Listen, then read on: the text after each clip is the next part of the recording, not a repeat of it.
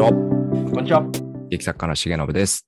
演出家の土井です。よろしくお願いします。お願いします。はい。演技を褒めて褒めて褒めまくるということで、えー俺の可愛いはもうすぐ消費期限第6話いきたいと思います。よろしくお願いいたしますお。願いします。はい。もうすぐね、期限が来ちゃうのかなっていう、あれですかね。だんだん迫ってきてるからね。そうですね。どんどんどんどんあの、ね、古田新太さんがフラッシュバックしていくってね。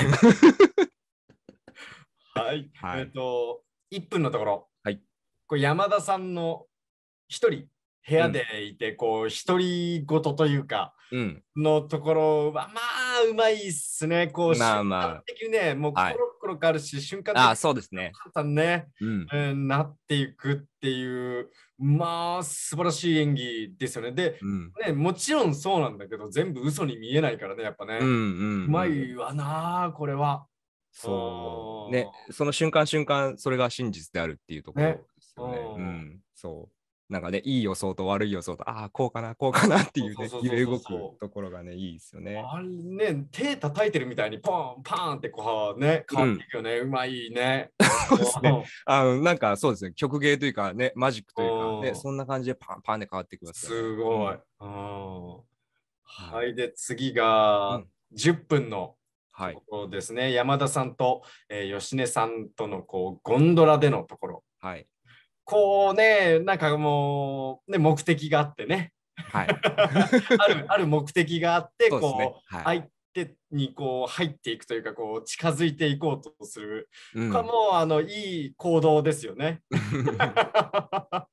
なんかよくわかるところですね。ううん。こう一生懸命行動しているっていう、で、その中でね、こう、でで相手がね、いるからね、たった今の,、あの相手に、ね、少しでも近づくぞっていう、うんね、交流もあり、うんうん、素晴らしかったですよね。うんあ、そうですよね。なんて言うんだろう、その相手もまあ探りながらじゃないですけど、うん相手のね、状態を見ながらっていうね、ところですよね。そう、行き過ぎてもダメだし、行かなすぎてもダメだし。そうそうそうそうそうそう、ね。目的達成できないからね。ね、ところ ううん、いや、でもね、面白い、面白い仕掛けだよね。うん、そうですよね素晴。らしいですね。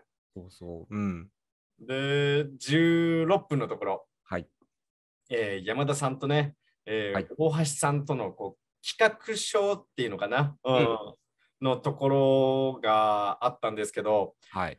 こう、ね、山田さんがそのトーンというか、その層を使うのかっていうぐらい、こう、ちゃんと優しいんだよね。うん、うん、うん。うんで、頼れるし、うん、うんで、丁寧に、こう、諭すじゃないけど、こう、相手にね、一つ一つ、こう、うん渡していくっていう、丁寧で本当に素晴らしい演技なんですよね。うん。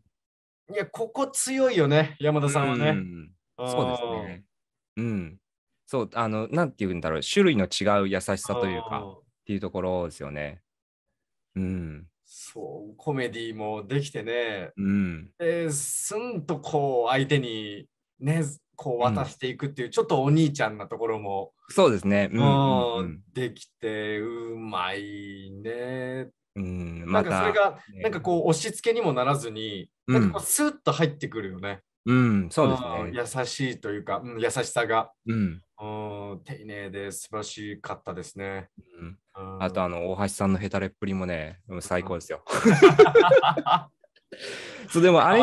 あの後輩くんも、なんだろう、その自分にとってのその悩みみたいなものそうだね。が、あの、本当に危機が迫ってるからこそ、あそこまでいけるっていうところですよね。うん。そう、ピュアで頑張ってすごくね、大きな問題だしっていうねん。そう、いいところですよね。う。うんんで、次が、もうラストの辺なんですけど、20はい分ぐらいのところ、山田さんと吉根さんの部屋でのうん。ところですよね。うんいや、だから、うーん、こうなってくるとね、2人非常にやっぱ丁寧でうん。繊細ですよね。うん。うーん、なんかヒリヒリするぐらい繊細で、うん。うんいい交流ですよね。相手に渡してっていう、うん、素晴らしい演技としかもう言いようがないですよね。うんそうですね。美しいシーンですよね。いや、美しいですね。うん。うん。うんいやー、これも盛り上がってくるね。面白いね。そうですね。さあ、あと今回の話はあれですよね。あの、私服のシーンがあって、それもなんかちょっと良かったですね。あの、うんスーツのね、状態もすごくいいけど、あ、私服になるとちょっと雰囲気変わるな、みたいなね、ところもね、すごくいいですよね。うん。うん。そいや、まあ、いいね。う。うん。面白い。ねうんもう6話なので、ね、そろそろ佳境に、そうだね。うん、本当にね、可愛いがもうすぐ消費期限なのかどうかね。っていうね、うんところですかね。うん。はい。あとコメントいただいてるんでね、コメントあありがとうございますはいと思います。はい。では、読んでいきます。えーなおさんからコメントいただきました。ありがとうございます。ありがとうございます。えーいつも褒めてくださってありがとうございます。えーデビュー当時、平均年齢15歳だった平成ジャンプは、えー今、8人全員が、えーアラサーとなり、えー顔面偏差値、ジャニーズトップレベルな上に、えー振り幅が武器のハイスペック集団です。えー全員が舞台、映画、ドラマで主演経験があります。えー機会があれば、山田君、伊野尾君以外のメンバーも見てみてくださいね。はい、ありがとうございます。そう言われるとやっぱ怖いな。怖いな。そうなんだ。でもあー15歳から15年近くずっとね、トップを走り続けてるっていうすごい話ですね。そう、改めてね、聞くとね。うん。うん。そう、確かにな。いや、怖いよ。うん。末恐ろしいですよね。それはでもなんかこう、アラサーになって、多分またアラフォーになってっていくと、またなんかこう、違った魅力が出てくるというか、ね、うん、なんか多分ね、人間的にもまた変わってくるうん、というか、ね、ところだと思うので、そこもまた楽しみですよね。うん。いや、もうどんどん好きがなくなっていくんだろうな。まあ、そうでしょうね。あーうんうん強くなってくるというか。うん。まあね、それがね、画面上から出るかどうかっていうのはね、またわかんないけども、うん。でも絶対ベースラインとしてね、もう、うんもう、もうすでにね、うん。結構そういうオーラ出る出てるだろうね、多分ね。ううんん。そうね。なんかこう、円熟味が増してくるというかうん、で、ところもまた楽しみですよね。ううんん。はい。えー続きまして、えー、カムイママさんからコメントいただいてます。ありがとうございます。うんえーお二人の生まれ変わったらに、えー一人お笑いしてしまいました。えー、井上君と山田君になってください。笑い。山田君は弾けますよ。いや、なりたいっすわ、生まれ変わったらね。あいや俺、俺はだからちょっと、ちょっとそこはちょっとなりたいかなぐらいだよ。さあ、あのーあれなんですよ。山田君がね、今、あの、Apex Legends っていうゲームの、あの大会がね、うんあの6月の初めかなのうん日曜日にあるんですけど、それ僕見てて、うんなんかね、スクリームっていう練習ラウンドみたいなのを配信でうんやってるんですよね。うんそれをね見てるんですけどね、本田翼さんも出てるんですよ。あのうん映画で2人、うんね、あの主演してらっしゃる。そう、山田君ね、めちゃくちゃうまいんですよ。やもうそれもうまいの。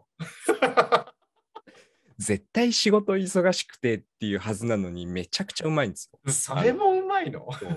マスターっていう、あのうん一番上から2番目のランクにいるんですけど、多分ね、い上位1%とか2%ぐらいのうまさのランクなんです 本当にめちゃくちゃうまいっていう。そう。そうなんですよ。CR カップっていうあのプロとかも出る、あの世界大会で MVP 取るような人も出るうんところで、そう、やってるんですよね。そう、楽しみ。すごいね。いや、なんだっけ、あの、そのゲームだよね、ゲーム。そうです、そうです。FPS ゲームのゲーム。うん。なんかゲームのさ、全盛期ってさ、うん。なんか20歳前後なんらしいじゃん。あ、そうです。あのトッププレイヤーは本当10代後半とかそうなんだ。よね。そうですね。なんかそのど動体視力かなんかが一番優れるのがそこらしいよね。そうそうそうそうそうそう。でもそれについてってんの？いや、そうそうです。いやあの面白いですよ。すごいね。うん、すごい。本当にすごい。本当にすごいんだね。そう、楽しみ。すごいよね。そうなんですよ。だね、そう、生まれ変わったらね、一回ね、ちょっとね、そこで入れ替わりたいですね。そうだね。そうだねそうです。俺もずっとじゃなくていいから。一日だけね。そうそうそうそうずっとはね、ちょっと怖い。そうですね、背負えないですね。そうそうそうそう そんなね、重いものはちょっと背負えないですね。いやそうだよ。だって、もう何年かしたら、ジャニーズ全体をどんと背負う お方たちになるんそうですよね。だよ、絶対に。今もうね、柱ですからね。多分ねもうそうだよ。ねそうだよ、もう。そうだよ、絶対そうだよ、もう。ねやっぱね、うそうですよ。いや、だからそのデビュー当時じゃないけどさ、もうずっといるからさ、若いイメージがさ、まあまあ、そうですよね。んそうだよ、うんついてるけどさ、うん。そうだよ、もう今やもう絶対に後輩からね、ね、いや、そうでしょうね。ねうん。そう相談というか頼りにされてたり、うんうん。うんね、ああうんあの人みたいになりたいって言われる、ね、うん。そうだもんね。いや、そうですよ。うんいや、本当すごいですよ。そう、ドラマ主演で、そう、映画もね、それがもう舞あって台も、そう。ね本業のアイドルも、ダンスも歌も、そうそしてゲームまでそう、強いっていうね。そうそう。いや、すごい。そうだね、怖いね。できないことがないっていう。だから、やっぱでもそうなんだろうな。ある一つの非常に優れた感覚、センス、才能が、うん。ね、それを全部ブワーってこう、応用できちゃうんだろうな。うん怖いね。